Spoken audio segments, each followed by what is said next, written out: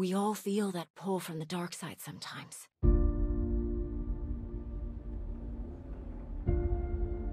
It's part of the Force. Part of all of us. But it doesn't control you unless you let it. I'm strong. Because I fight for others. The Force is a part of all living things. How could anyone hope to master it when they only focus on themselves? Crippled by empathy. Shackled to obedience. To their masters, their council. They perpetuate a myth of equality, serving the Force as if it were a belief system that had been programmed into them. The galaxy can't be set on the proper course until the Jedi Order and the corrupt Republic have been brought down.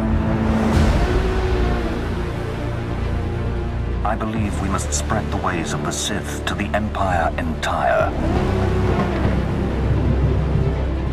Plant terror and hatred in every heart. I believe in the democratization of fear. But violence can only destroy. It doesn't inspire others to greatness, and it can never rebuild. The power of the dark side is a lie. My ally is the Force, and a powerful ally it is. Fool! Success doesn't come from summoning help from the Force, but from taking control of it and generating the power from within yourself. To have fallen so far and learned nothing. This is what you have wrought. Countless murderers, slayers, assassins, born of war that has, as always, taught the wrong lesson.